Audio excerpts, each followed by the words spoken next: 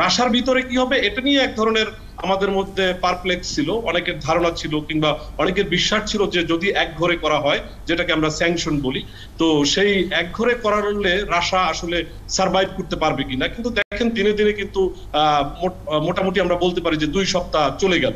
কিন্তু রাশার ভিতরে আসলে কি হয়েছে, সেটা আমাদের জানা দরকার। কারণ হচ্ছে গিয়ে, অর্থনৈতিক আসপেক্ট নিয়ে যদি আমরা কথা বলি, তাহলে দেখা যায় রাশা হচ্ছে গিয়ে দুই ধরনের ইকোনমিক্স এর প্র্যাকটিস করে, অর্থাৎ যদি এটা আমরা একাডেমিক ভাবে বলি, যেটা আমি এর আগেও বেশ কয়েকবার বলেছি, যে কমান্ড ইকোনমি এবং মিক্স ইকোনমি এখন কমান্ড ইকোনমি ইকোনমিটা হচ্ছে এরকমের যে আপনি চাইলে আপনার রাষ্ট্রে হচ্ছে গিয়ে যে কোনো সময় যে মূল্য নির্ধারণ থেকে শুরু করে যে কোনো বিষয়ই হচ্ছে গিয়ে আপনি নির্দেশনা কিংবা হচ্ছে গিয়ে আপনার আমরা যেটাকে বলি ডিক্রি জারি করা, সেটা আপনি করতে পারবেন। এবং যেটা আশা করেছে শুরুতেই যুদ্ধের, তারা বলেছে যে কোন রকম প্রাইস হাইকিং হবে না, সর্বোচ্চ ফাইভ পার্সেন্ট হচ্ছে আপনি দ্রব্যমূল্য বৃদ্ধি করতে পারবেন।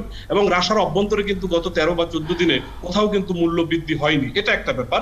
আর একটা ব্যাপার যে বলা হয়েছিল মাস্টার কার্ড কিংবা হচ্ছে গিয়ে ক্রেডিট কার্ড, এগুলো কলাপস করলে অনেক বড় বিপদে পড়বে রাশা। কিন্তু না, রাশা কিন্তু এর বিকল্প হিসাবে বহু আগে থেকে তারা হচ্ছে মির নামে একটি ক্রেডিট কার্ড চালু রয়েছে এবং তারা সেটিকে ব্যবহার করছে।